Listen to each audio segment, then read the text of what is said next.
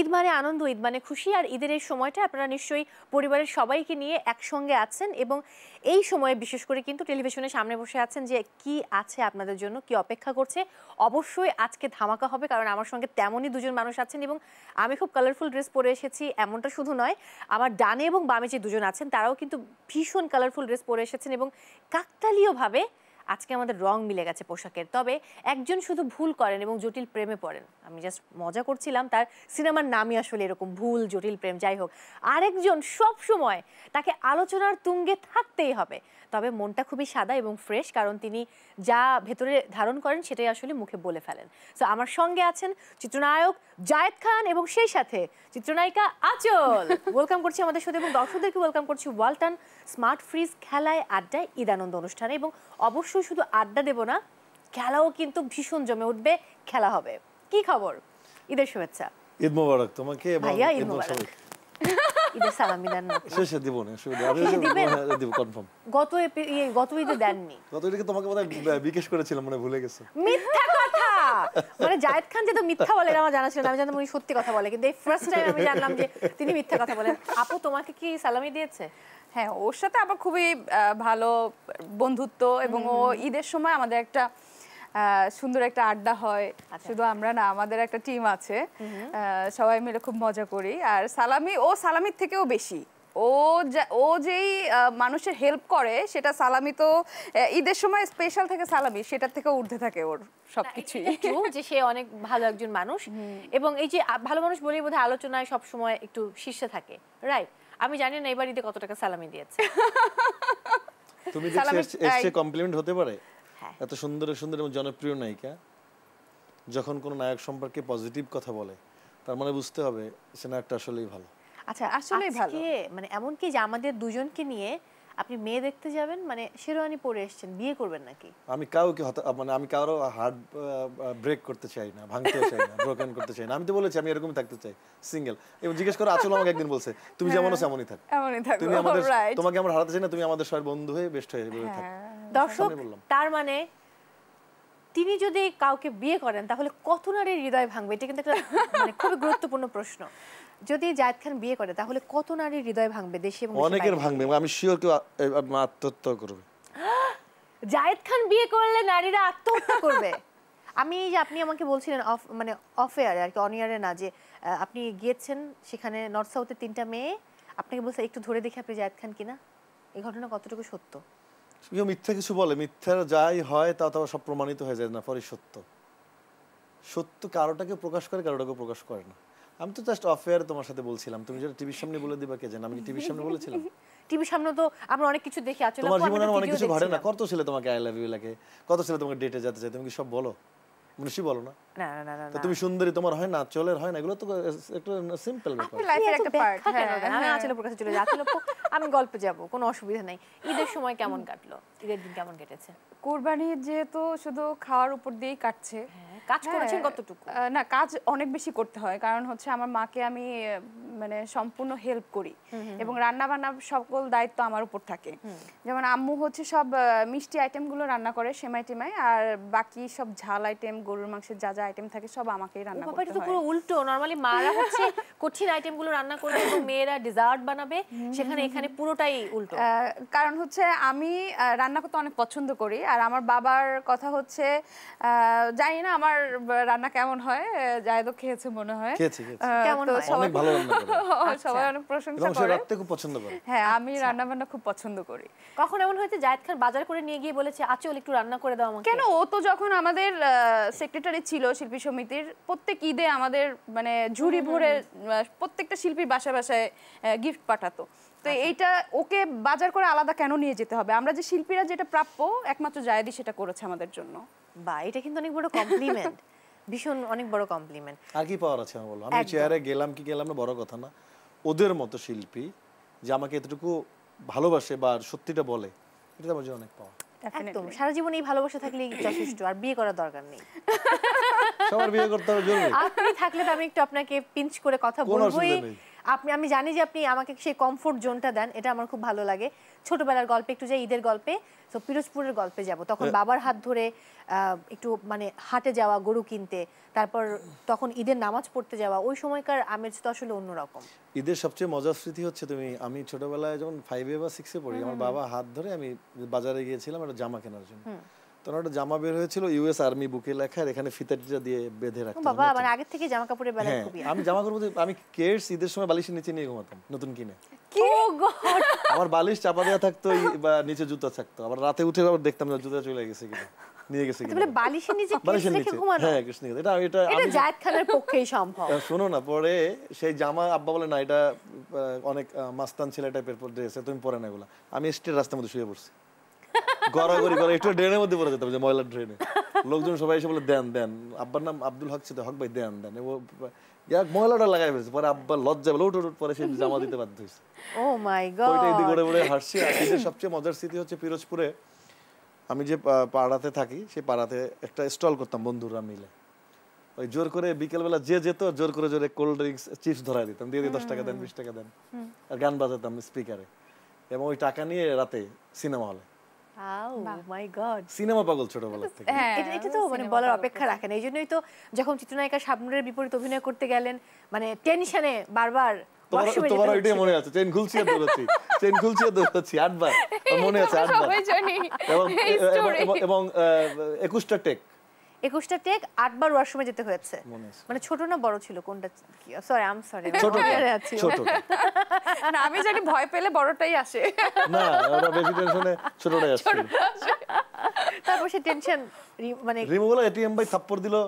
নাকি কানে কানে কানে কি বলল পরিচালক? ঠাস করে আমার কানে কালে থাপ্পড় বসিয়ে দিল। আমি তাকাই রাখলাম থাপ্পড় দিল কেন? ওই যে এক্সপ্রেশন দিয়েছি এটাই নাকি ওকে? এর আগে পারিনি আমি। এটিএম এর হাতে? এতগুলো আংটি ছিল পুরো ছাপ পড়েছিল আমার গালে ব্যথা। পরে বাথরুমে গিয়ে পানি আস্তে আস্তে মেকআপ তো মুছতে পারতেছি না আস্তে আস্তে পানি দিচ্ছি গালের উপর। ইস মানে ব্যথা একদম জমে খারাপ অনেক জোরে। দিছিল উনি মনে হয় রাগও ছিল একটু। হ্যাঁ, আমি 21 বিরক্ত বার হতে পাচ্ছিস না কেন? 21 বারতে। 21 বার। আর তখন তো ডিজিটাল না। হ্যাঁ। এক একটা নেগেটিভ যাচ্ছে টাকা নষ্ট হয়ে যাচ্ছে এক একবার এক একটা এক একটা রিল এক একটা এনজি মানে চার হাজার সাড়ে চার হাজার করে। আচ্ছা আমি শুনেছি আপনাদের নাকি একসাথে সিনেমা হয়নি? হ্যাঁ একসঙ্গে সিনেমা হয়নি। একসঙ্গে এটা এটা দুর্ভাগ্য আমাদের একসঙ্গে সিনেমা হয়নি। মানে যখন মনে হয় যে জাতকিনের সাথে হয়তো আগামীতে কোনো সিনেমা যদি হয় কি মনে হয় তার সাথে রোম্যান্স করতে পারবেন? যেহেতু বন্ধু আপনারা। কেন পারব না? আমরা আর্টিস্ট যেহেতু অ্যাক্টিংটা আমাদের প্যাশন তো অ্যাক্টিং এর জায়গায় তো অবশ্যই করতে কিন্তু হবে। বন্ধুত্বে রোম্যান্স করতে গেলে একটু হাসি পায়। ভাই তো আর বলেনি ভাই বলেছে। ও না হ্যাঁ সে আমি তো ভাই বলিনি। এটা তো বলিনি। এক নায়িকা এটা আমাকে ভাইয়া বলছে তা বলছি ঠিক আছে তুমি ক্যারেক্টারকে তো নায়িকার চিন্তা করবে না। তুমি ভাইয়ার চিন্তা করবা রাতে এসে কলিং বেল দিব দরজা খুলে বলবা ভাইয়া দেরি করে আছিস এসেছিস? সারা রাত তোর জন্য খাবার না খাবার না মানে খাবার গরম করে বসে আছি তোর জন্য। কই না না, আমি নায়িকা হতে যাব তাহলে ভাইয়া ছাড়ো। তার মধ্যে সব নায়িকাদেরকে এইভাবেই বলে রাইট নায়িকারা ভাইয়া কেন হবে? নায়ক রাজ রাজ্জাক সাহেবের কথা ফারুক সাহেবের কথা সলমান ভাইয়ের কথা। নায়ক নায়িকা শুড বি প্রেমিক প্রেমিক। শুড বি প্রেমিক প্রেমিকা। ফ্রেন্ড ফ্রেন্ড ও সে খুব টেকনিক্যালি উত্তরটা দিয়ে ফেলল ফ্রেন্ড আমি আপনার কাছে যাই ছোটবেলার ঈদের গল্পে যাব। ছোটবেলার ঈদটা আসলে ছোটবেলা তো ওই যে মেয়ে মানুষ হাটে যাওয়া নিষেধ ছিল নিয়ে যায়নি কখনো। বাট আমি এখন যেটা মিস করি আহ, এখন নিজে কিন্তু হাটে গিয়ে গরু কিনি। হ্যাঁ এটা আমার কাছে খুব ভালো লাগে। নিজে পছন্দ করে যে হাজার হাজার গরু দেখব, ওখান থেকে একটা সিলেক্ট করব এবং আমার জন্য যেটা বরাদ্দ উপর থেকেই আছে সেটাই তো হবে। কিন্তু যে হাটে সাত দিন ছয় দিন, পাঁচ দিন ঘোরা, অনেকগুলো হাট, এটা এখন আমার খুব ভালো লাগে। তো এখন এটা আমার বাবা মাকে বলি যে আমাকে ছোটোবেলায় কেন নিয়ে যেতে না? আমার আব্বুকে বলি যে কেন আমাকে নিয়ে যেতে না? এই যে এই ছোটোবেলার এই মজার স্মৃতিগুলো আমি তো গেলে মানে অন্তত হাটে তোমাদের সাথে ঘুরে ঘুরে দেখতে পারতাম। তো বলে যে হ্যাঁ আমি আবার গরু খুব ভয় পাই। হ্যাঁ আহ, মানে অন্য আমি কোনো পশুদের ভয় পাই না বাট আমার গরু খুব দেখলে ভয় লাগে যাতে শিং অনেক বড় বড় থাকে এইসব গরু আবার ভয় পাই। তো ছোটবেলায় আব্বু বলতো তুমি তো গরু অনেক ভয় পাইতা তুমি তো নিজেই যেতে চাইতে না। এখনও যখন আমি হাটে যাই তো কিছু কিছু পাগলা গরু থাকে না যে খুব ইয়ে- আমরা তিনজন যদি হাতে যেতাম এবার এই কাপড় পরে তাহলে পাগলা গরুর আমাদেরকে ধাওয়া করে কারণ আমরা লাল ড্রেস পরে আছি। একদম একদম। এগুলো আমি এখনও ভয় পাই। এগুলার জন্য আমি আবার কিছু আমার ভাইটাই সাথে রাখি যে দেখো আমি কিন্তু গরু হাটে যাব ঠিকই কিন্তু কোনো পাগলা গরু দেখলে কিন্তু আমি আর কোন দিকে লুকাবো আমি জানি না। হ্যাঁ। তো এগুলোর জন্য খুব মানে সেফ সেভ করার জন্য আমার ভাইটাই যায়। আমি অন্য একটি প্রশ্নে যাব। জায়েদ খানের আলমারিতে কত সংখ্যক পোশাক আছে? অনেক এবং সব এক্সপেন্সিভ ট্রুলি আমি এবার লাস্ট বার মুম্বাই থেকে আসছি আলাদা দশ হাজার মানে ইন্ডিয়ান টাকা কারেন্সি দিয়ে আসছি শুধুমাত্র ওজন বেশি হয়েছে বলে। ও মাই গড মানে একদম ট্রুলি অনেস্টলি স্পিকিং এরপর এটা সে মুম্বাই থেকে নেয়া? এটা অনেক তামিল তামিল না ফ্লেভার না না এটা রয়্যাল মালাবার থেকে নেয়। আচ্ছা ওকে আর ঘড়িটা? এই ঘড়িটা আমি আগের দিন দেখেছি। তো তার কি রোলেক্স না রোলেক্স আমি আগের দিন দেখেছি। হ্যাঁ সেটাই তো। তার মানে এই ফার্স্ট টাইম দেখলাম যে জায়েদ খান ঘড়ি রিপিট করে। জুতা কি আগে দেখেছি? না এটা দেখুন। এটা দেখিনি। তাহলে আজকে আজকে এটি শুধু জায়েদ খান রিপিট হয়েছে আমার। জায়েদ খানের সমস্ত পোশাক তো নতুন জায়েদ খান তো পুরান। জায়েদ খান নিত্য নতুন ভাবেই তো হাজির হয়। জায়েদ খানের তুমি একটা ইন্টারভিউতে যে জায়েদ খানকে দেখছ আজকে আবার অন্যরকম জায়েদ খানকে দেখছ না? হ্যাঁ, পরিবর্তন হয়েছে। লুক পরিবর্তন কথা পরিবর্তন সবকিছুর তো নিত্য নতুন জায়েদ আমি গতকালকে একটা ভিডিও পেয়েছি ফেসবুকে তো সেটা আমি রেখে দিয়েছি ইনবক্সে যে এটা তোমার লাগবে। লাগবে কেন? কারণ সেই ভিডিওর শুরুতে আপনি বলেছেন পঁচিশ জন মেয়ে আপনাকে একসঙ্গে নিউ ইয়র্ক থেকে কল দিয়েছে ভিডিও কল এই গল্প আমি একটু যেতে চাই আপনার কাছে। বেচারা ওর কাছে কত কোশ্চেন আছে জিজ্ঞেস করেন ওর তো, তুমি তো আবার কোশ্চেন back, এটা কোনো কোশ্চেন ব্যাক টু ব্যাক মেয়েদের সাবজেক্ট এত হয়ে গেছে এটা আর বলতে ইচ্ছে করছে আপনার জীবনে অনেক মেয়ে এবং আপনি এটা বলতে ভালোবাসেন যে মেয়েরা আপনাকে ভালোবাসে এবং আসলে মেয়েরা আপনাকে আজকে কিছু ভালোবাসে। আমি- বলেছি আজকে কিছু। তুমি বলো। তোমরা যদি এরকম খোঁচাও আমি কি করতে পারি? আপনি কি বলেছেন যে আমেরিকায় অনেকবার বিয়ের প্রস্তাব পেয়েছেন? সেদিনও আমেরিকা থেকে একটা মেয়ে আপনাকে নক করেছে। লাভ বড় লাভ দিয়ে বলেছে যাই সেটা তো আমি এখনও বলছি সে মেয়ে তোটা দেখাই আমি নিউজটা দেখার পরে সে আমাকে খুব হ্যাপি হয়েছে এটা বলেছি দেখে। বাবা। সে বলতেছে নাম কেন বলিনি? তো আমি চিন্তা করি আমি নাম বলে আজকে বলে ফেলেন নাম আমি জীবন বলব আমি কারও পার্সোনাল নষ্ট করতে পারি না জীবন নষ্ট করতে চাই না।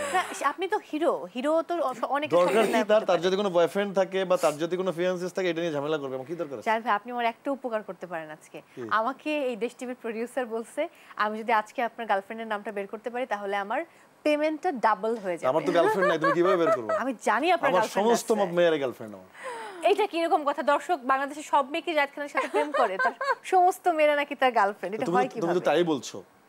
আমার গার্লফ্রেন্ড নাই তুমি কেন জোর করে বের করবা? আপনার গার্লফ্রেন্ড আছে এটা আমি জানি। ট্রুলি নয়। কিন্তু ট্রুলি টিভির সামনে বললাম। একদম সিঙ্গেল যায় আপনি আজকেও নামটা বলবেন না। আমি ট্রুলি বললাম জাতীয় টেলিভিশনের সামনে। আমার যদি কেউ জেনে থাকে যে শাকিব খানের মতো সব বের হয়ে আসবে। এই সুযোগ জায়েদ খানের নেই।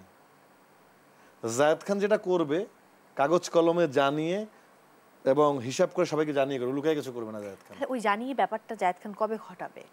সেটার জন্য মেন্টাল স্টেবিলিটি নেই এখনও। আমি ঘর করার মতো আমার অবস্থা নেই। আমি বললাম না চার চোখ চারদিকে ঘুরে। চোখ কি মেয়েদের দিকে ঘোরে সুন্দরের দিকে আপু আপনি কি বলবেন? এই কথার উত্তরে কি বলবেন? মানে বলবে কথা থাকতেই পারে মানে পছন্দ কি স্টেবল না ও যেমন স্টেবল ঘুরে। চারদিকে ঘুরে। ও এখন স্টেবল ও ও বিয়ে ও বিয়ে শাদী করে না সেও বিয়ে করবে বলে মনে হয় না। বিয়ে করবেন আপনি এখন? না সে মেয়ে মানুষ যেহেতু বিয়ে তো করতেই হবে ও- বিয়ে করতে হবে। ফ্যামিলি ও ফ্যামিলির বড়। আমার ফ্যামিলি তো সব বড় সবাই করে ফেলছে। তার মানে তো তুমি যখন-। একটা ফ্যামিলির দায়ভার যখন একটা সন্তানের উপর থাকে তখন কিন্তু অনেক কিছু মেনটেন করতে হয়। ফ্যামিলি থেকে সবকিছু মেনটেন করতে হয়। তো ফ্যামিলির যখন মনে হবে যে না এখন বিয়ে করা উচিত বা তোমার জন্য আমরা ছেলে দেখছি বা মেয়ে দেখছি তখন ফ্যামিলির সাপোর্টে আসলে সবকিছু করাই ভালো। আর জায়েদকে আমরা সবসময় একটা কথা বলি যে বিয়ে শাদী করলে তো সবাই ফ্যামিলি ঘরমুখী হয়ে যায় তখন তো তোমাকে আর আমরা পাবো না। এখন যেমন আহ, রাত তিনটা হোক চারটা হোক ডাকলেই চলে আসো। ঘুরতে যাই বা আমরা মজা করি আড্ডা দেই। তো তখন তো মনে হয় তুমি ফোনটাও ধরবে না যখন বউ পাশে থাকবে। ফোনটা মনে সাইলেন্টও থাকবে বা কে ফোন দিল কোন নায়িকা ফোন দিল তখন বউ সবসময় খোঁচাবে যে কেন ফোন আসছে। এই জন্য চাই যায় তুমি সিঙ্গেলই থাকো। তুমি কখনো বিয়ে করো না।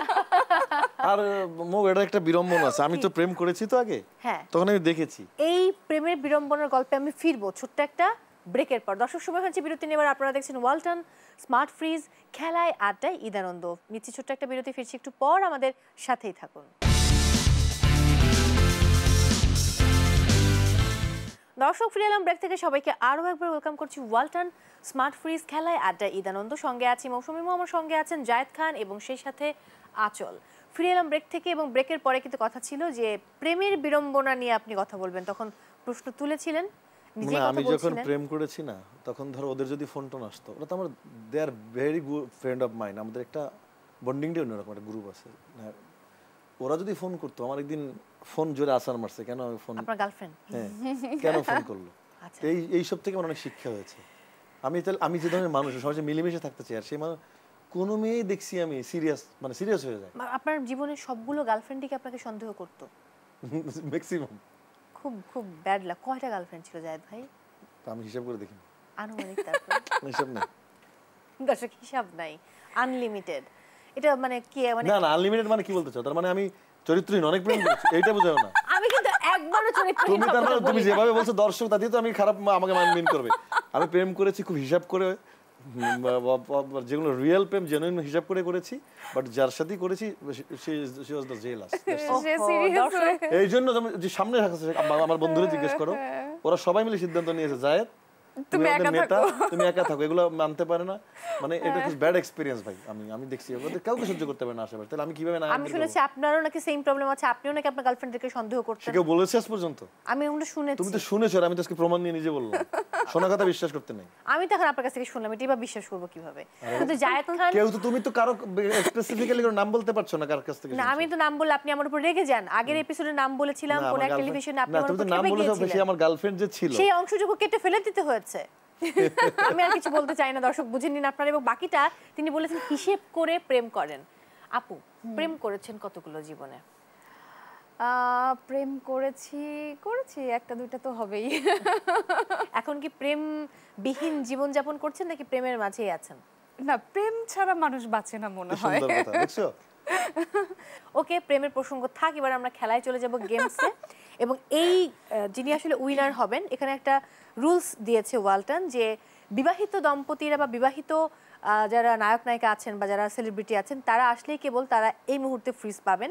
আদারওয়াইজ এই খেলায় যত মার্কস আসবে তার উপর ডিপেন্ড করে ওয়ালটন বিয়ের সময় ফ্রিজ ওয়াশিং মেশিন এইটা তো- এইটা তো আমরা এই মুহূর্তে আমি এই মুহূর্তে আমি আর আসল হাজবেন্ড ওয়াইফের ভূমিকা কারণ আমরা নায়ক নায়িকা অনেক ছবিতে হাজবেন্ড ওয়াইফের অভিনয় করি অনেক করতে পারি। হ্যাঁ, আমরা ওয়ালটনকে জানাতে চাই আমরা এই মুহূর্তে হাজবেন্ড ওয়াইফ হ্যাঁ, আমরা- আমরা আগের দিনে আমাদের মুখোমুখি হয়েছে আমরা মুখোমুখি আমাদের এখন ফ্রিজটা লাগবে। আমরা যদি জিতি। আমি একটু আমি যেটা আম্পায়ার বা আমি এখন কাজের ভূমিকা পালন করছি। দর্শক জায়েদ খান এবং চিত্রনায়িকা আচল এই মুহূর্তে মুখে মুখে বিয়ে করলেন কারণ আগের দিনে নাকি মুখে মুখে বিয়ে হতে জায়েদ খান বলেছেন।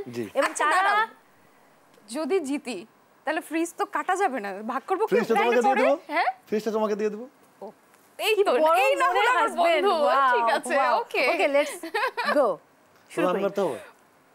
কি গেমটা কি বলো? আগে তো বললোই না আচ্ছা যেটা হবে তিনটা আপনার তিনটা হচ্ছে আচলাপুর। আচ্ছা। ওখান থেকে এটা মারতে হবে তারপরে আমি পয়েন্টগুলো যোগ করব এন্ড যোগ করে জাস্ট মানে আহ, মানে এটা শুধু ফানের জন্য আর কিছু না।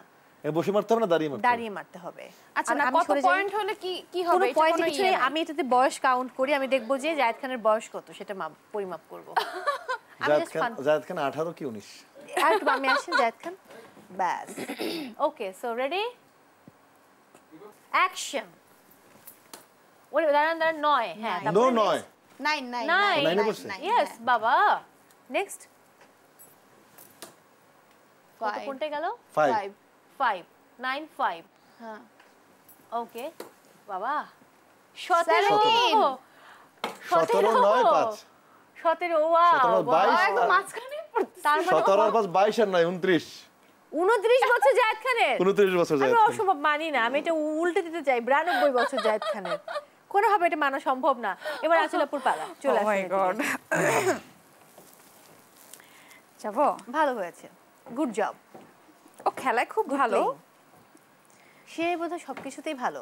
ইনশাআল্লাহ একদম। অ্যাকশন হ্যাঁ। বিসমিল্লাহ অ্যাকশন ওয়াও কত? চোদ্দ। ভালো ভালো আমার। ভালো মেরেছে। দুই ষোলো ষোলো? বছরের আহা লাগল না দেন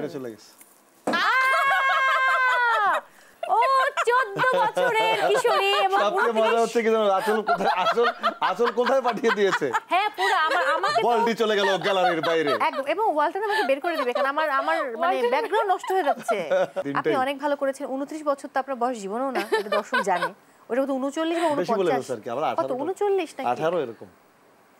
তাহলে তোমার তুমি যেটা ধরেছো তার থেকে ছোট আছি আমি। আপনারটা পারফেক্ট হয়েছে চোদ্দ। মানে একদম। ষোড়শী হয়েও হলো না দুয়ে লেগেও লাগল না। এরকম জীবনে জীবনে কোন কোন জিনিস যেটা আসলে হয়েও হয়নি? হয়েও হয়নি আহ, সেটা হচ্ছে আমি বেসিক্যালি হিরোইন না হলে কি হতো ডাক্তার? না। আমার খুব ইচ্ছা ছিল আমি ডিফেন্সে যাব আর্মি যাওয়ার আমার খুব ইচ্ছা ছিল যেটা জায়েদ ছেড়ে দিয়ে এখানে এসেছে। মানে ও ডিফেন্সের চাকরি ছেড়ে দিয়ে মিডিয়ার জন্য মিডিয়াকে ভালোবেসে চলে এসেছে। বাট আমার এটা ইচ্ছা ছিল আমি ওভাবেই নিজেকে ছোটবেলা থেকেই তৈরি করেছেন। তৈরি করেছি যে আমি মিডিয়াটা আসলে আমার হুট করে আসা। মানে ফিল্মের নায়িকা হওয়া এটা আমার লাইফে একটা কি বলে মানে কাকতালীয় ভাবে হয়ে যায় না? যেমন আমার নায়িকা হওয়ার স্বপ্ন কখনোই ছিল না। তাহলে কি নাচ থেকেই অভিনয়ে চলে আসে? হ্যাঁ নাচ থেকেই বেসিক্যালি আমার আশা আমি ওই যে মানে একটা নাচের রিহার্সাল করছিলাম একটা চ্যানেলে প্রোগ্রামের জন্য সোহাগ ভাইয়ের বাসায়। তো ওখানে যখন রিহার্সাল করছি তখন একজন ভদ্রলোক আসলো আমার প্রথম সিনেমা ডিরেক্টর তো উনি দেখে আমাকে দূর থেকে ফলো করছিল। আমি ভেবেছি যে ভাইয়ের বাসায় মনে হয় কেউ আসছে কোনো গেস্ট তো অনেকক্ষণ আমার নিজের কাছে একটু আনইজি লাগছিল যে একটা লোক আমার দিকে এইভাবে তাকায় আছে কেন? তখন আমি মাত্র মানে ইন্টারে পড়ি আর কি তো তাকায় আছে, পরে আমার রিহার্সাল শেষ, অনেকক্ষণ পরে সোহাগ ভাই এসে আমাকে বলতেছে কি যে তোর সাথে একটু কথা আছে? তোর আম্মুকে ডাক দে। তো আম্মুকে ডাক দিলাম, তো ওই ডিরেক্টর আবার বলছে যে ভাইয়া উনি মানে আমাকে বলছে যে সিনেমা করবে কি না আম্মুকে বলল উনি। তো হুট করে এটা শুনে আম্মুর খুব শখ ছিল। আম্মুর নিজের নায়িকা হওয়ার স্বপ্ন ছিল। আমির হ্যাঁ, মধ্য দিয়ে সেটা হ্যাঁ সেটা হচ্ছে আমাকে দিয়েই ইয়ে করেছে। তো আম্মুর ফ্যামিলি থেকে ওই সাপোর্টটা আম্মু কখনো পাইনি তো আম্মুর খুব ইচ্ছা ছিল যে আমার মেয়েকে আমি মিডিয়াতে কাজ করাবো এবং কখনো ওরকম সুযোগ পেলে আমার ইচ্ছাটা তাকে দিয়ে পূরণ করাবো।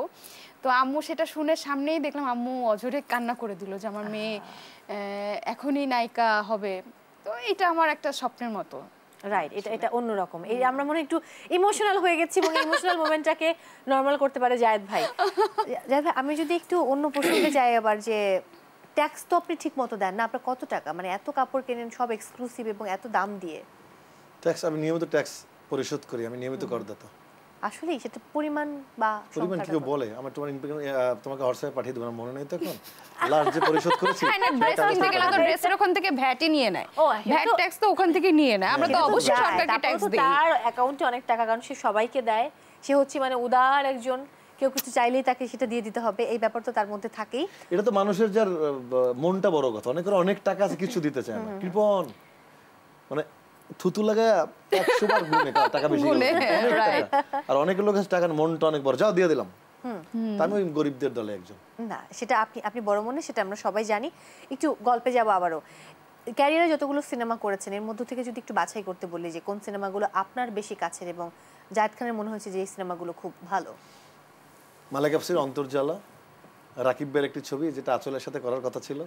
আনফরচুনেটলি হয়নি হলো না? শিডিউল জব জটিলতা ছিল যার কারণে। ওটা আমার খুব ইচ্ছা ছিল যে ওর সাথে কাজ করা। তখন আচল অনেক আমার তখন রানিং অনেকগুলো অনেক আমার শিডিউল ছিল। আমার কোনো শিডিউল ভাঙ ওর মানে বাসার নিচে গিয়ে গ্যাপ করে। হ্যাঁ গ্যাপ করে টাকাও দেওয়া হয়েছিল পরে আবার টাকা ফেরত দিয়েছে বিকজ বাকি ছবিগুলো শিডিউলটা মিলেনি। আচ্ছা। প্রেম করব তোমার সাথে রাকিবুল আর রাকিব তারপরে শাহ আলম মন্ডলের পরিমণির প্রথম নায়ক আমি প্রথম ছবি ভালোবাসা সীমা আপনি অনেক নায়িকারই প্রথম নায়ক। প্রতিদিন বলেছি তোমাকে? হ্যাঁ সেটা আপনি আমাকে বলেছেন। এরপরে আরও গেমস আছে। সেখানে কত কিছু করতে হবে নাচতে হবে গাইতে হবে। একজন নায়িকা এসে তো এখানে কুতকুত খেলেছেন কোনো ব্যাপার না। কুতকুত? হ্যাঁ। সো এবার আপনি তাহলে গানটা ধরুন গানটা শুনে আমি একটা ছোট্ট ব্রেকে যাব। আমাকে যেদিন তুমি বন্ধু গো ভুলে যাবে ও পারে গিয়েছি চলে, হাওয়াতে খবর তুমি পাবে। আমাকে যেদিন তুমি বন্ধু গো ভুলে যাবে। ও পারে গিয়েছি চলে, হাওয়াতে খবর তুমি পাবে। আমি মরণ মেনে নেব, প্রেমেরই বাজি যদি ধরো। একদিকে পৃথিবী একদিকে তুমি যদি থাকো আমি তোমারই বুকে রব আর কোনখানে যাব না কো লা লা লা লা লা লা লা লা লা লা লা ওরে বাবারে হাউ রোমান্টিক লা লা লা লা লা লা পুরো লা গানটা লা। হাউ থ্যাংক ইউ রোমান্টিক গানটা কিন্তু সম্পূর্ণ তোমার জন্য। না না পুরোটাই আপু তোমার জন্য আমার জন্য না thank you so much Zayed ভাই। তুমি যখন এখন ফ্রি আছো এই জন্য তোমাকে নিয়ে গেলাম। একদম একদম। আমি দেখতেছিলাম আমি তো আমি তো কারও যে বুক দিকে তাকাই না। আমি যদি কোনো রিক্সা শোনো না আমি সেই গল্প জানি যদি দেখি যে রিক্সায় কোনো গার্লফ্রেন্ড বয়ফ্রেন্ড যাচ্ছে আমি সুন্দর হলে তাকাই না। আরেকজন থাক তাকালে ঠিক হবে না। আমি যদি একা দেখি তখন তাকাই। আমি কিন্তু সেই সিক্রেট জানি যে অন্যের বউকেও আপনার ভালো লাগে। কিন্তু সেটাকে আপনি পরকিয়া বলতে নারাজ। এই প্রসঙ্গে ফিরবো ছোট্ট একটা ব্রেকের পরে। দর্শক সময় হয়েছে বিরতি নেবার প্রসঙ্গে ফিরবো। খুব একটা হট টপিক যে অন্যের বউকেও জায়েদ খানের ভালো লাগে। কিন্তু তিনি সেটাকে পরকিয়া বলতে নারাজ। সাথেই থাকুন ফিরছি ছোট্ট একটা ব্রেক নিয়ে। আপনারা দেখছেন ওয়ালটন স্মার্ট ফ্রিজ, খেলায় আড্ডায় ইদানন্দ দর্শক ফ্রিলাম ব্রেক থেকে। সবাইকে আরও একবার ওয়েলকাম করছি ওয়ালটন। স্মার্ট ফ্রিজ, খেলায় আড্ডা ইদানন্দ সঙ্গে আছি। মৌসুমী মামার সঙ্গে আছেন জায়েদ খান এবং আচল। তবে যেই টপিকে ফিরে আসার কথা ছিল যে পরকিয়া করতে আসলেই পছন্দ করেন কিনা জায়দ খান। তিনি পরকিয়া শব্দটি ব্যবহার করতে চান না, তবে অন্যের বউকে ভালো লাগে বাট তার মাঝে অন্য একটা ঘটনা ঘটে গেছে। দর্শক, আমি একটা ছোট্ট ব্রেক নিয়েছিলাম। এই ব্রেকের মাঝে যেটা ঘটলো যে আমাদের একজন নিউজ প্রেজেন্টার তিনি আসলে বললেন যে ব্রেকের দ্রুত চলে এসেছেন। শো শেষ হওয়ার পরে তাকে নিউজে ঢুকতে হবে, কিন্তু এই ফাঁকে তার জায়দ খানের সঙ্গে ছবি তুলতে হবে। এই হলেন জায়দ খানের নারী ভক্তরা। এই নারী ভক্তকে কেমন লাগল? ভীষণ সুন্দরী কিন্তু আমাদের নিউজ প্রেজেন্টার আমাদের টুম্পা আপু। ভক্ত তো ভক্ত সুন্দরী অসুন্দরী কি আছে? আমার ভালো লেগেছে না একটু? চেহারাটা দেখেন একবার। ব্লাশিং করছে না? ওকে পরকীয়ার প্রসঙ্গে ফিরে আসি। ভাইয়েরা মানে আপনার বড় ভাইয়েরা কতটুকু নিরাপদ মনে করে তাদের বউকে আপনার দ্বারা আপনার সবাই নিরাপদ মনে করে। আমি যাকে একবার ভাবি বোন বড় মায়া বা আহ, কারও চোখে আমার এক নায়িকা আন্না। একটা ইন্টারভিউতে বলেছিল কিন্তু দ্যার্থহীন ভাবে এগুলো তো দেখো না। জায়েদ খান একবার যাকে ভাই বলে একবার যাকে বন্ধু বলে সেটাই মিন করে। বোন যাকে মনে করে জায়েদ ওটাই মন করে। ওমর দৃষ্টিতে- প্রসঙ্গে কি বলবেন তাহলে? ওটা তো ম্যান মেড ছিল ওনাকে উনি এটা না বুঝে কারও বুদ্ধিতে এগুলো করেছিল। পরে কি পরে আমার কেন বলতে হবে? মৌসুমি আপাই তো ক্লিয়ার করে দিয়েছে Zayed is like my younger brother সেই রেসপেক্ট মি এ লট আমি তাকে স্নেহ করি। দ্যাটস যে মানুষটা নিজেই বলে ফেলেছে তারপর তার কেউ কোনো কথা বলতে পারেনি বিকজ দ্যাটস দ্য ট্রু একটা মানুষ এখন আমি যদি কালকে তোমার সাথে শো করা শুরু করি সিঙ্গেল কালকে তোমার সাথে আমার প্রেমিক বানিয়ে দেবে এটা ট্রু বিকজ আমি না ব্যাচেলার বলে আরও সুন্দর দেখতে। আমাদের এক নায়িকা আমার সাথে ছবি তুলে ছাড়ছে অনুষ্ঠানে তো হাজ বয়ফ্রেন্ড বলতেছে না না জায়দ ভাই ছবিটা তুমি টাইম লাইনে দিন এটা হাইড করে দাও অনলি মেক করে দাও। বলো জায়দ ভাই সব নায়কের সাথে ছাড়লাম কিছু বলল না। আপনার সাথে ছাড়ার পরে এই বিপদ মানে ভয় মনে রিস্ক মনে করে আমার অকারণে। ও বাবা যাই হোক এই প্রসঙ্গে পরে যাব আমরা এখন খেলায় চলে যাব শুরু করব নায়িকাকে দিয়ে। কি করতে হবে? শুরু করি কি মানে ঘুরাবো তাই? রাইট হ্যাঁ ঘোরাতে হবে যেটা পড়বে সেটা অ্যাক্টিং করে বা সেটা করতে হবে যা যা লেখা আছে। আচ্ছা। যাব? Ready one two three and go কই এটা শুদ্ধ তো ঘুরলো সমস্যা নেই এটা সমস্যা নেই যেটাই পরে তিনটা পারফর্ম করতে হবে। আল্লাহ ইশারায় কোনো ইশারায় কোনো গানের কথা। এই- এইটা শুনুন আচ্ছা এটা সুন্দর হয়েছে ইশারায় কোনো গানের কথা।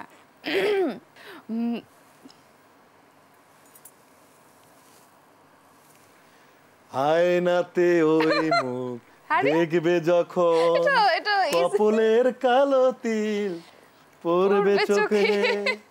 থ্যাংক ইউ সো মাচ এবার আপনার পালা। সালামি সালামি। কি জোরে ঘুরাইছে বাপরে বাপ। দেখা যাক কি হয় কি হয় কি হয় কি হয় কি হয়। কৌতুক! আরে, কৌতুক। বাহ ফ্যান্টাস্টিক বলুন এবার কৌতুক। চার কুকুর হেঁটে যাচ্ছিল এটা বিয়ে বাড়ির সামনের থেকে। তো চার কুকুর সারাদিন না খাওয়া শুকায় গেছে। তাকে বলে যে দেখ ওই বাড়িতে বিয়ে বাড়ি চল একটু খেয়ে আসি। তো চার কুকুরের মধ্যে চারজন বলছে দেখ একসঙ্গে গেলে চোখে পড়ব একজন একজন যাই। পরে একজন ওই বাড়ির পিছন থেকে ঢুকছে। ঢুকে পরে যারা কাজ করে বাবুরসি তারা দেখে ওরে লাঠি দিয়ে একটা পিটানি দিচ্ছে তো পিটানি খেয়ে বেকা এটাকে বাইরে আসা। এসে মনে মনে ভাবতেছে আমি পিটানি খেয়ে যে তোমাদের ছাড়বো? বাকি তিনজন জিজ্ঞেস করছে কি অবস্থা? কয়, "খু- গরম গরম খুব দেয়। এই তিনজন বলছে তার আরেকজন যা। আরেকজন দৌড় দিছে। দিছে বার বলে একটারে পিটাইলাম আর আরেকটা আসলো। এর মধ্যে গরম ভাতের মার ওর গায়ের মধ্যে ঢেলা দিছে। দিছে হচ্ছে এই বাবুরসিরা গরম ভাতের মার তো পড়লে কি হয় বুঝো? বেকায় বেকায় আসতেছে পা টানতে টানতে আসতেছে। আর পথে বলতেছে আমি গরম ভাতের মার খাইছি তোমাদের বাকি দুজন বাকি দুজন খুব উদ্গ্রীব। বলে কি অবস্থা ভিতরে? তাড়াতাড়ি যা গরম গরম দেয় এই দুজন বলতেছে কি যে গরম গরম যখন দেয় তাহলে দুই এবার একা একা ঠিক হবে না একসঙ্গে চল ঠান্ডা হয়ে যাবে। এই দুইজন গেছে। এবারে বাবুসিদের মেজাজ খারাপ হয়ে গেছে। আসলে একটা দুইটাই ঠিক করলাম আবার দুইটা এসে বান। এর দড়ি দিয়ে বানছে বাসের সাথে। বাইদা ইচ্ছা মতো পিটাইছে। দুইটারই। পিটানোর পরে পিছনটা তো বেকায় কুকুর পিছনে পা বেকায় গেলে কেমন হয়? পা এরম ছাঁচড়াতে ছাঁচড়াতে দুইজন সামনে আসতেছে বাকি যে দুইজন আগের। কিরে দোস্ত কি অবস্থা ভিতরে? কোষ না এমন খাতির যত্ন করে আইসপারি দিবার চায় না। ওকে ওকে এবার আচ্ছা আপনার হ্যাঁ, আবার? আবার ইয়া তিনবার ও মাই গড এটা তোমার নিয়ম আমরা নিয়মের বাইরে যেতে পারি। অফকোর্স নিয়মের বাইরে যাওয়া যাবে না। ওরে কি আসে? বাংলা সিনেমার মজাদার ডায়লগ মজাদার। ডায়লগ এটা তো খুব ইজি একটা খুব জনপ্রিয় ডায়লগ বলি হ্যাঁ। ধরো তোমরা দুজন আমার হাত ধরো। ওই উনি ধরছে যা ধরো। ধরেছি ধরেছি। তোমাদের কীভাবে বলব? ছেড়ে দে শয়তান। তুই আমার দেহ পাবি শয়তান। তুই আমার দেহ পাবি মন পাবি না আমি বলব আমি বলব আমি তো ওইটাই চাই।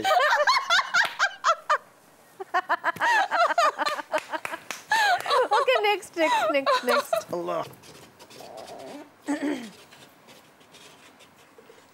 আরে আরে আরে আরে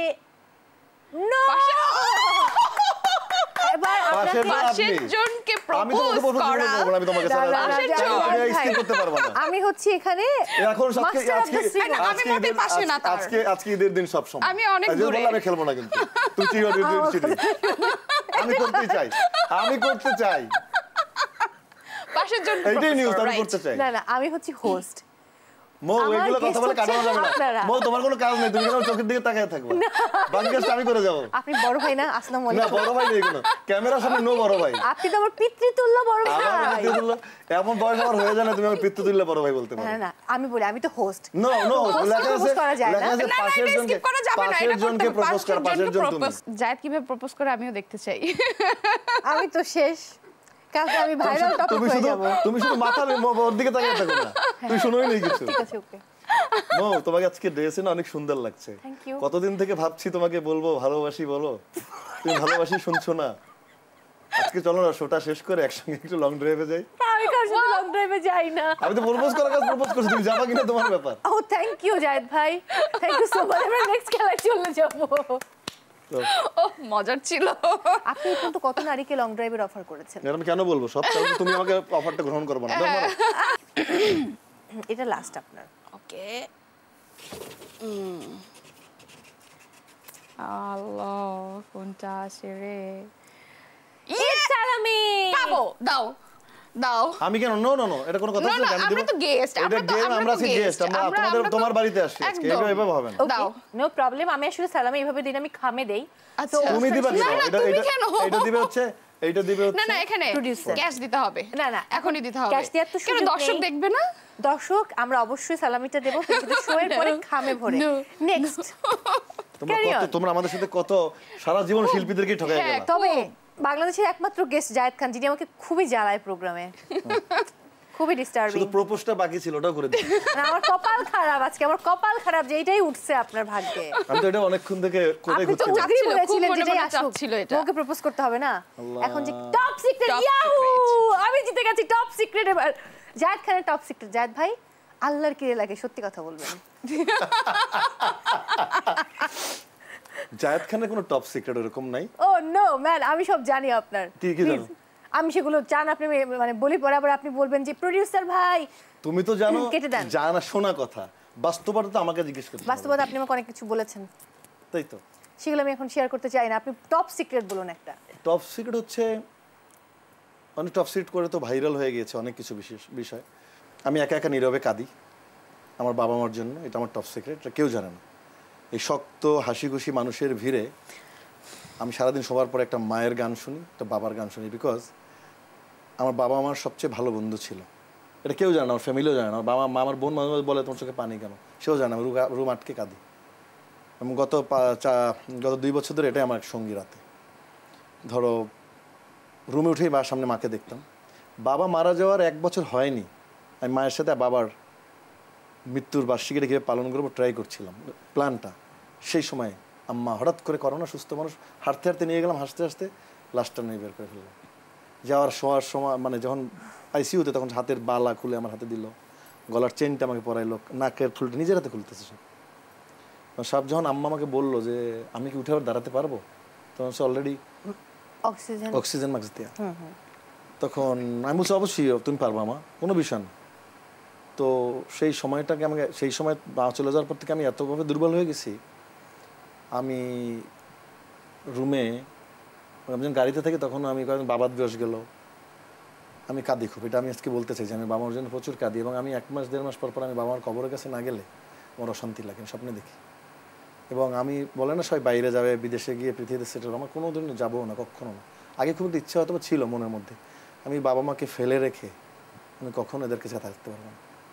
আমি এটা প্রতি মুহূর্তে আমার বাবা মার এত ভালো বন্ধু ছিলাম আহ, সবাই সব বাবা মাকে ভালোবাসে ইভেন তুমিও। সবাই সবার বাবা মার কাছে জায়গাটা আসলে ভাষায় ব্যক্ত করার এটা। আমি কোনোদিন তোমাকে আজকে বলি অনুষ্ঠানে প্রথম বললাম আমি কোথাও বলিনি এটা।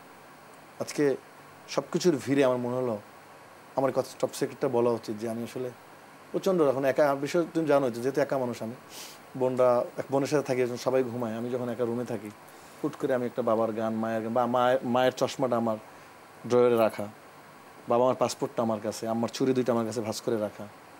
এগুলো সব আমি দেখি আর মনে করি। আর চেনটা পড়তে আমি রুম রুলে দেখতাম আমার গলায় চেনটা সেই চেনটা আমার গলায়। এটা তো কষ্টের ভারী বহন করা। এটা গ্যাপ দিয়ে মারা গেল হতো। একটা মানুষের মানুষ বাবা যায় তা দশ বছর বা বিশ বছরের মা যায়। বা মা যায় তা পাঁচ সাত বছর বাবা যায়। এক বছর হওয়ার আর মাথায়। এগারো মাস কিছুদিনের মাথায় সাতাশ দিনের মাথায়। তো এটা আমি প্রচণ্ড দুর্বল করে আমি প্রচুর কাঁদি একা একা এবং অঝরে পাস্ত্র করতে এটা আমার এখনকার সবচেয়ে বেশি। আর আর কোনো টপ সিক্রেট আমার মনে থাকে না। এগুলো নর্মাল হয়ে গেছে। এইটা আমি আমার বোনও জানে না কিন্তু ফ্যামিলির কেউ। আমার বোন মাঝে মাঝে বলে, ভাই "কি আম করছিস?" ভেরি সরি মানে এমন একটা মানে ঈদের দিনও বলতে হলো ঈদের দিনে খুশি দিন বলতে চেয়েছিলাম দিনে বাট ঈদের দিনে বাবা মার সাথে সবসময় বেশি সময় কাটাতাম। সেই বাবা মাই নাই যার কারণে আসলে আমার এই বাবা মাকে মানে মহান সৃষ্টিকর্তা অনেক ভালো রাখুন। সেটা ছাড়া আর কিছু করার ভালো আছেন তাদের দোয়া আছে আপনার সাথে। এবং সব সময় প্রার্থনা করি যে সকল বাবা মারা যেন ভালো আমি থাকে। এটাই বলি যে পৃথিবীর সকল বাবা মা ভালো থাকুক এবং বেঁচে থাকা অবস্থায় কোনো বাবা মার জন্য কোনো সন্তান বেঁচে থাকে তে বাবা মার জন্য বৃদ্ধাশ্রমে না যেতে হয়। এবং কোনো কষ্ট না কোনো কষ্ট না হয়। কি যে যার নাই সে জানে। কি মনে হয় জানো যে অনেক কিছু করতে পারিনি। এত জোরে জোরে কথা বলছি ফোন ধরি নেই ঠিক মতো আচ্ছা আরও একটু বিনয়ী হতে পারতাম। বাবা মাকে আরও ভালোবাসতাম। চলে যান বাবা মা থাকবে না এটা ভাবতেই পারিনি। আমি আমি মানে কি বলব এই মুহূর্তে বুঝতে পারছি না। মানে আবহাওয়াটা পুরো চেঞ্জ হয়ে গেছে দর্শক। এবং এটাই বলতে চাইব যে পৃথিবীর সকল বাবা মায়েরা ভালো থাকুক। আমি আচলাপুর কাছে যাব। বাবা মায়ের গল্প আপনি বলছিলেন যে মায়ের স্বপ্ন আপনার মধ্য দিয়ে পূরণ হয়েছে। এটা একটা অনেক বড় বিষয়। হ্যাঁ, এখন যখন মা আপনাকে পর্দায় দেখে তখন আসলে ভুল ত্রুটিগুলো কিন্তু মাই ধরিয়ে দেয়। হ্যাঁ হ্যাঁ অবশ্যই। ছোট্ট করে মায়ের কথা শুনব তারপর আজকের আয়োজন আমি শেষ করতে চাই। অবশ্যই কারণ মা না থাকলে আজকে আমি কখনো আচল হতো না। হ্যাঁ মায়ের কারণেই আজকে আমি এই পর্যায়ে এসেছি এবং আমার যত কিছু আছে উপার্জন বা আমি যা পেয়েছি এই জীবনে সব কিছুর অবদানই আমার একমাত্র মা। আসলে সত্যি কথা, মা বাবা না থাকলে সেই জীবন, কেমন জীবন সেটা জায়েদ এখন উপলব্ধি করতে পারে অন্যরকম। মা আছে বলেই এখনও মনে হয় যে আমি এখনও ভালো আছি। এখনও মনে হয় যে না, আমার পরিবার আছে, আমার দিন শেষে আমার ঘরে ফিরে যেতে হবে, আমার মা বাবা আছে। তাদের তাদের মুখটা দেখলেই মনে হয় যে না, পৃথিবীর সর্বশ্রেষ্ঠ বেহেস্তের একটা টুকরা, এরকম মনে হয়। তো আমার মা আমার কাছে অন্যরকম। পৃথিবীতে সব সন্তানের কাছে মা বাবা অন্যরকম বাট আমার কাছে মনে হয় যে আমার মা আমার জন্য একটু বেশি কষ্ট করেছে। জীবনে কখনো চাওয়া পাওয়া অপূর্ণ রাখেনি। চেষ্টা করেছি মায়ের সকল আশা পূরণ করার জন্য। তারপরে তো মানুষ তো হয়তোবা আহ, অনেক কিছু পারিনি করতে। অনেক অনেক কিছু। মার সাথে অনেক সময় অনেক ঝগড়া করেছি অনেক জোর জোর গলা কথাও বলেছি। তো আজকে আমি আমার এই প্রোগ্রামের মাধ্যমেই আমি আম্মুর কাছে সরি বলে নিচ্ছি। আসলে মাকে অনেক অনেক বেশি ভালোবাসি যেটা আমি আমার ভেতরেরটা বোঝাতে পারব না। আম্মু ছাড়া আমি আসলে সবকিছু অন্ধকার দেখি। যখন মনে হয় যে না আমার মা আমার কাছে থাকবে না বা আমি দূরে আছি এটা তো কল্পনার বাইরে এটা এটা ভাবতেও চাই না। অন্যরকম এটা আসলে আমি আমার মাকে আসলে আমার জীবনের থেকে মনে হয় আমি বেশি ভালোবাসি। মায়ের জন্য আমি এক্ষুনি হাসি মুখে জীবন দিয়ে দিতে পারব। আমার আম্মু যদি বলে যে আমার এই সমস্যা আমার দুটো কিডনি লাগবে বা দুটো চোখ লাগবে আমি এক্ষুনি দিয়ে দিব। হ্যাঁ তো আমার মাকে আমি আসলে অনেক বেশি ভালোবাসি। আর বাবার কথা কি বলব? বাবা আহ, আমাকে বুড়ি বলে ডাকে। আমার বাবা বাবার সাথে মার সাথে যতটা আমি ক্লোজ বাবার সাথে এরকম ক্লোজ না কারণ আম্মু আমাদের শুটিং মানে তো চব্বিশ ঘণ্টা আমাদের আউটডোর থাকতে হয় বাইরে বাইরে শুটিং করতে হয়। তো চব্বিশটা ঘন্টায় কিন্তু আম্মুকে আমি কাছে পেয়েছি। বাবাকে খুব কাছে পাওয়া হয়নি। তো বাবার প্রতিও আলাদা একটা মেয়েদের কিন্তু ভালোবাসা থাকে। তো বাবাও আমার কাছে অনেক ইম্পর্টেন্ট অনেক ভালোবাসার একজন মানুষ। তো এই তো বাবা মা আসলে অন্য জিনিস।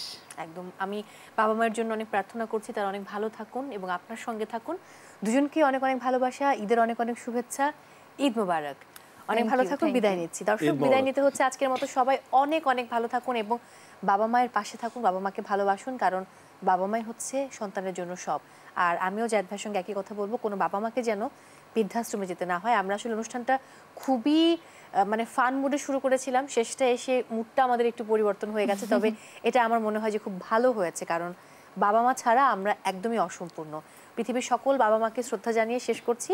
সকলকে আরও একবার ঈদ মোবারক। বিদায় নিচ্ছি আজকের মতো ওয়ালটন স্মার্ট ফ্রিজ খেলায়। আড্ডায় ঈদ আনন্দ থেকে দেখা হচ্ছে আবারও একই সময়ে দেশ টিভিতে।